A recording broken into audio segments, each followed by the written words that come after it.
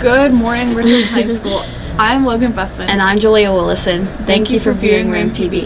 Today is Tuesday, January 10th, 2017. The lunch menu for today is chicken mashed potato bowl. Student dismissal times are as follows. Junior high boys basketball 215, varsity hockey 430. Here's what's happening in Ram Nation today. Basketball boys junior high at Bedford Middle School 4 p.m. Basketball boys 7th grade at Bedford 5 p.m. Ice hockey boys varsity at Somerset 6 p.m. Wrestling boys junior high versus Greater Johnstown 6 p.m. Wrestling boys varsity versus Greater Johnstown 6 p.m. Swimming boys varsity versus Central Cambria Heights 7 p.m. Swimming girls varsity versus Cambria Heights 7 p.m.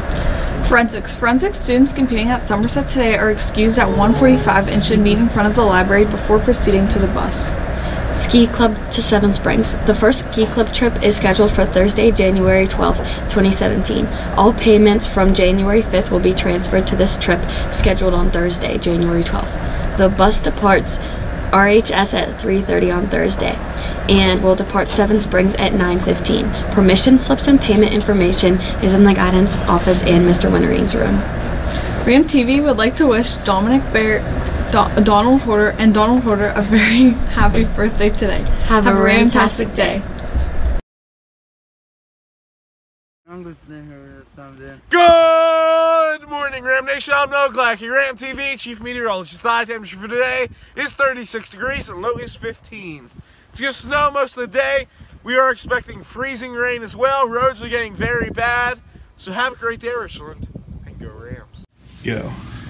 What's going on, Ram Nation? I'm here with Addison for the book of the month. Addison, what is the book of the month and why should we read it? Well, this month, the book of the month is The Last Olympian by Rick Riordan, and we should read it. It's a great adventure novel, and it's about mythology, really, so I think it'd be good for literature class. Sounds like a good book. Yeah. I would recommend it too. I've read these. I've read this series before. Amazing series one of my favorites of all times. Go check it out.